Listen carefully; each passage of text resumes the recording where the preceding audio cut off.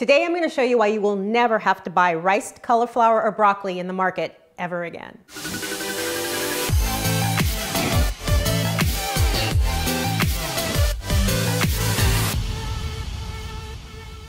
Hey, it's Lisa with An Appetizing Life, and today I'm making cauliflower and broccoli rice. So let's do this. So just to be clear, this isn't broccoli and cauliflower with rice. The broccoli and cauliflower just looks like rice. It's a substitute.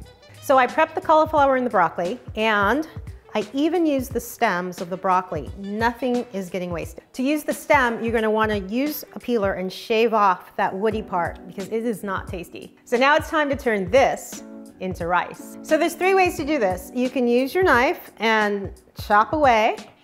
You can use the grater, but please, please, please watch your fingers and your knuckles. This thing can be dangerous. You could use it. Or you could be lazy or efficient like me and use your Cuisinart. It'll give you a nice fine rice-like consistency. It's so much faster. So I'm gonna do these in batches just to make it a little bit easier.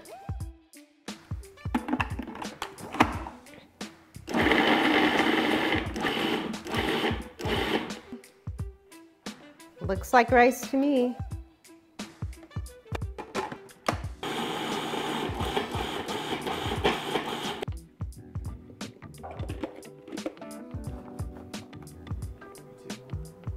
Now the cauliflower and broccoli are all rice, so let's get on with prepping the rest of our ingredients. You'll need to dice up one red bell pepper, strip fresh thyme, and then mince it. And now for a little garlic. You can never have too much garlic. Mince two cloves. Okay, everything is prepped. Let's head on over to the stove. So I've warmed my pan over medium heat. I'm gonna add a little olive oil and all that yummy garlic. Smells good. Now it's time to add the rice, cauliflower rice that is, the broccoli, and the red bell pepper.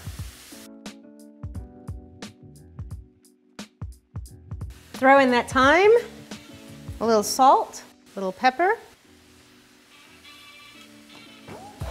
So I'm gonna let this cook for about five to seven minutes just to let everything soften up a bit. Okay, this is done, but I'm gonna add something to brighten it up a little bit, a little lemon.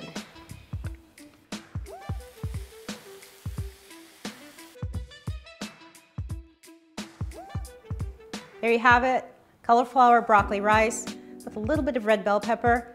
Perfect for a weeknight dinner, really easy and pretty good. Well, that's it. If you like this video, don't forget to subscribe, hit that like button, and ring the bell so you can be notified when I have new videos each week.